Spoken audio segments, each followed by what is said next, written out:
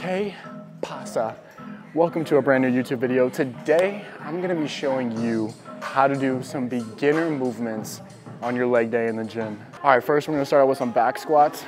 Um, in this cage here, you have a full cage. So sometimes you're gonna have a full power rack um, and then you're gonna have a half rack. This one's a full power rack. You're gonna have your safety pins down here, okay? So these are important if you're squatting by yourself. You wanna make sure you set these in case you gotta bail out. So set them just below 90 degrees is what I do. Uh, that way, in case you got to bail out, you can just toss that, dump the weight behind you. So first we're gonna set these pins. So some, every, every uh, squat rack is different.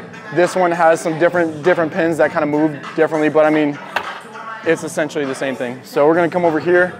I'm gonna set them to my height, which is 26, and then that's gonna bring me down to 24, like that. So they just slide in and then roll down. So I'm gonna set these on both sides.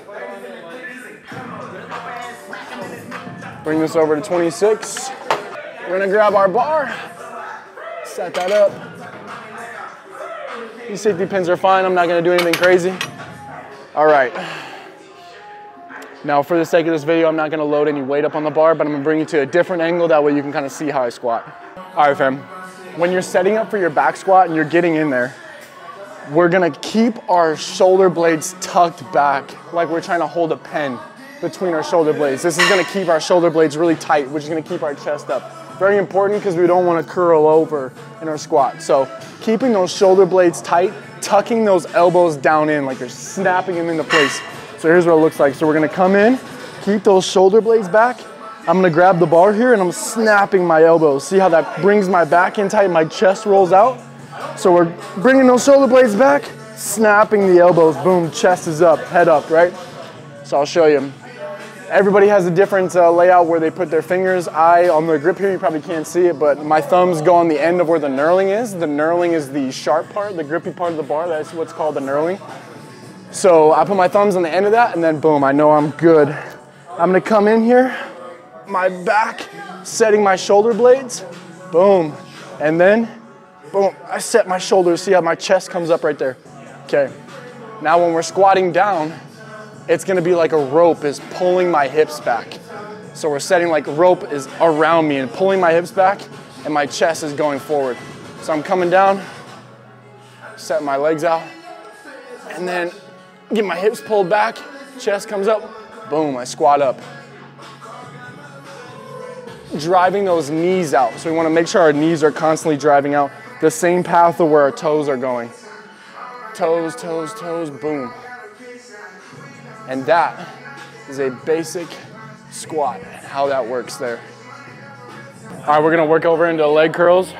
Uh, leg curls, super basic stuff. All you're gonna have is your weights on the side here, and then you're gonna have where you're gonna hook your legs in. This one is pretty simple, so you just, there is no adjustment. So sometimes on some machines, you're gonna have ones that uh, adjust here on the bottom, so you're just gonna, there's a pin, same way you would set like a rack or anything like that. There's gonna be a pin down there and you just set them to your leg height, right? This one just rolls, so it's kind of like one size fits all, so you don't have to adjust it. But uh, yep, you just come over here, you set the weight you wanna do, and then I'll come over here. So we're just gonna take this light.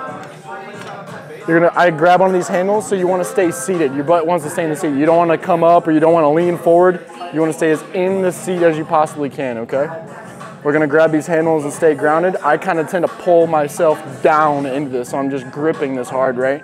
And then we're gonna come out, we're gonna extend and squeeze our legs, okay? Then come back down and extend, squeeze.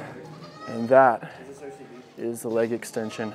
All right, next we have the, the leg curls. This is gonna work our hamstrings here. So we've got our quads uh, with the leg extensions. We've got our back squat uh, working the glutes and the, the quads and also the lower back.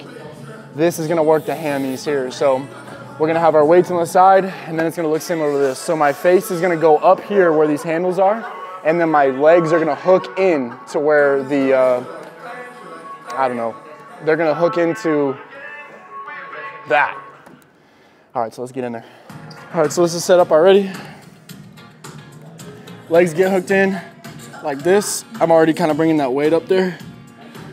Okay, so now we're gonna curl. We're gonna curl our legs up, working the hamstrings. So we're just curling like this, Like that, boom. And we're curling. Making sure to squeeze those hamstrings there. Squeeze them tight. And that is how you do a leg curl.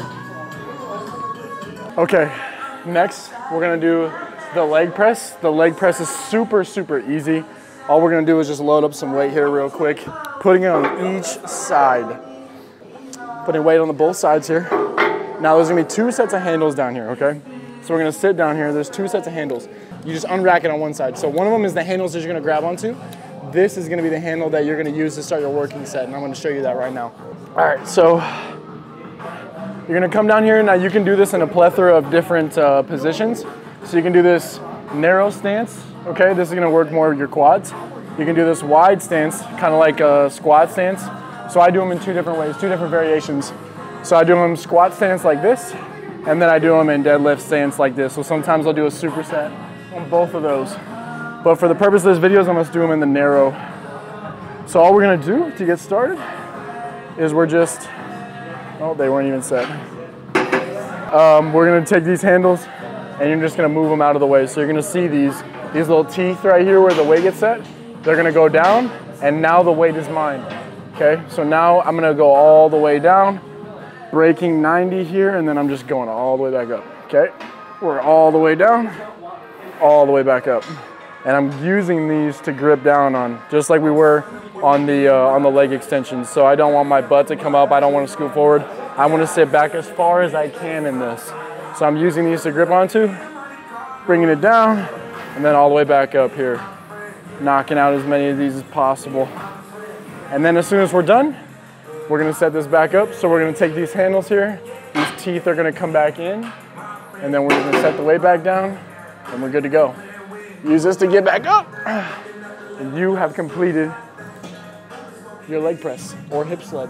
Fam, thank you so much for watching. I hope you got something out of this video. Um, for all the beginners out there just trying to learn how to do some stuff, as always, hasta luego. Tell your mom to subscribe to me.